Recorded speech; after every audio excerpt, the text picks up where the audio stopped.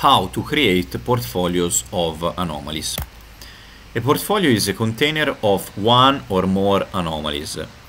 Let's create a new portfolio calling it uh, test by clicking this button, this plus button, and entering here uh, text. Then click add portfolio.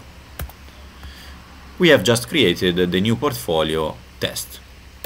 We go uh, in a My Anomalies page and we add these four anomalies to portfolio test by clicking this plus button in the bottom of the anomaly card, add anomaly to portfolio, we select test and click uh, do you want to add this anomaly to portfolio? Yes, add.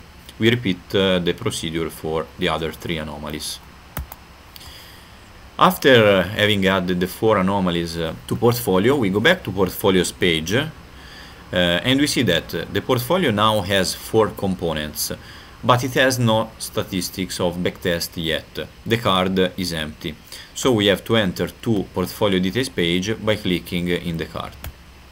In this page there is a table for portfolio components, years range to compute statistics and the button that we have to click by leaving everything unchanged to launch the backtest and compute statistics.